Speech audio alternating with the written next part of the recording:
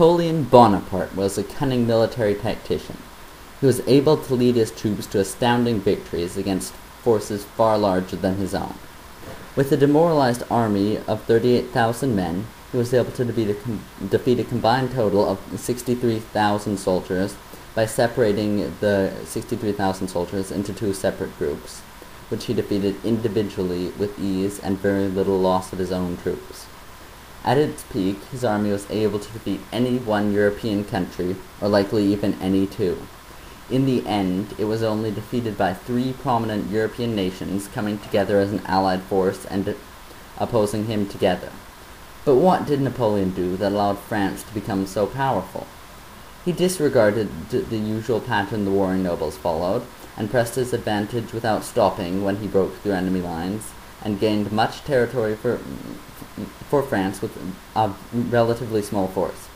He never stopped moving, and led his army to marches covering over thirty miles a day, saying, Where is the enemy? Let us go and fight him. He disliked spreading his army out evenly because he thought it would do no good, and would often send a large force to where his enemy was weakest, with the rest of his troops sent to slow and hold out against the stronger sections of the opposing army. This tactic often worked perfectly due to the speed with which Napoleon's army moved and broke through the opposing troops.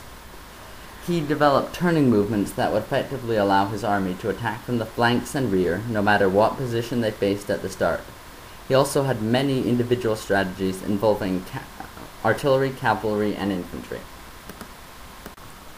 No other army marched into battle with as much confidence as Napoleon's infantry. At the front of the battle, muskets readied and waiting they stood. The three different types of infantry in Napoleon's army were all fearsome. There were the line infantry, which composed the bulk of the French army, numbering about 350,000 men. These troops were generally conscripted from those aged between 18 and 25. The regiments in this force, known as demi-brigades during the Revolution, were divided into three or four battalions. In 1808, the line infantry were at full strength with 108 officers and 3,862 non-commissioning officers and lower-ranked soldiers.